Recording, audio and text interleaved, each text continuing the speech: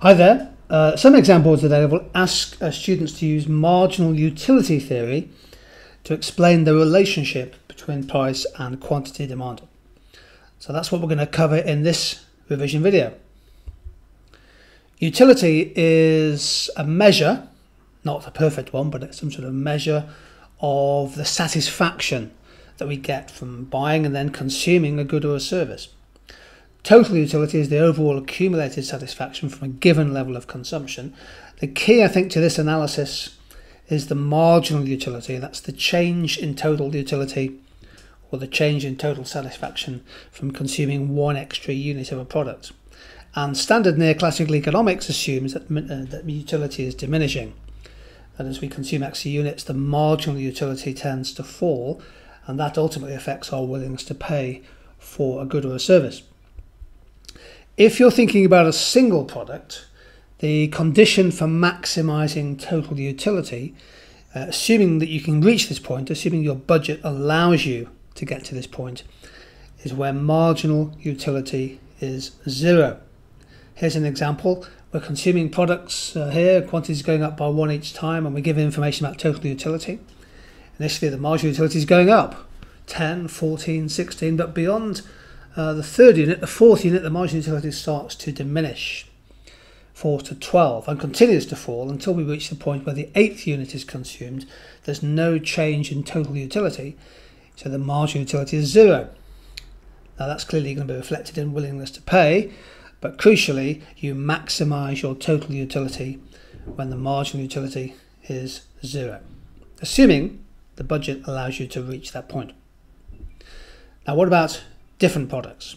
Here's the slightly more complex condition required.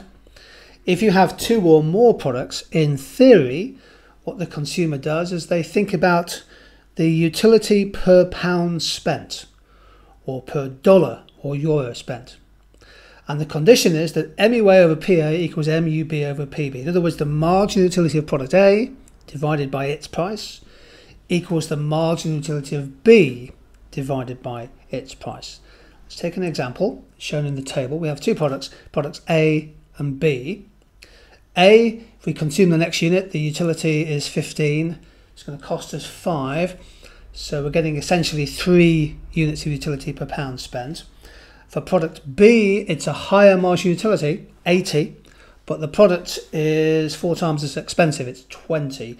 But that's giving us 4 units of utility per pound spent. Now, in theory, assuming that consumers are rational agents trying to maximize their utility, we'd expect people to shift a little bit towards product B, perhaps less of A, to increase their utility from a given budget because B offers more utility per pound spent. Of course, if you then consume more of B, the marginal utility of B may fall towards 3, perhaps even lower. Now, what happens if the price of the product falls? Well, a fall in the price of a good or service, other things remaining the same, brings about an increase in the utility per pound spent, the marginal utility of the extra pound. And in theory, that's going to prompt consumers to change their demand as they move out of another of a rival product towards another product. Take an example. Uh, in blue here in the table in blue, we've got two products again, product A, product B. In both cases at the moment, the utility per pound spent is 4. Product A offers 40 utilities costing 10. Product B offers 100 utility extra, it's costing 25. So they're essentially in equilibrium there. The marginal utility per pound spent is 4. Now in red, in the table below that, we cut the price of product B. Everything else stays the same.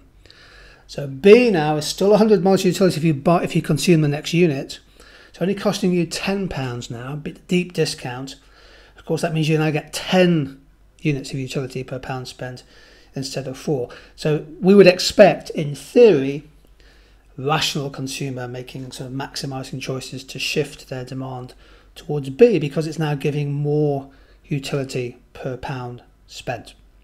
In the real world, of course, deep discounts, heavy price discounts attract consumers to change their preferences, to change their choices. In this case, we've created a disequilibrium. We'd expect people to move towards product B. So there we go. That's looking at how you maximize your utility with a single product and with two or more products.